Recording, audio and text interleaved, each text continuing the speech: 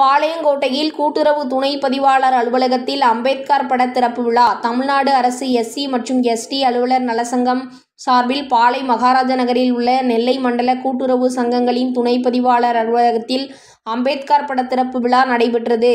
சங்கத்தின் சார்பில் வருவாய்த்துறை ரவி வரவேற்றார். சங்க நிர்வாகிகள் ஆண்டி பசுபதி ஆகியோர் முன்னிலை வகித்தனர். சங்கத்தின் மாவட்ட தலைவர் சின்னத்துறை தலைமை வகித்தார். மாவட்ட வருவாய் அலுவலர் விமல்ராஜ் அம்பேத்கர் உருவப்படத்தை திறந்து வைத்தார்.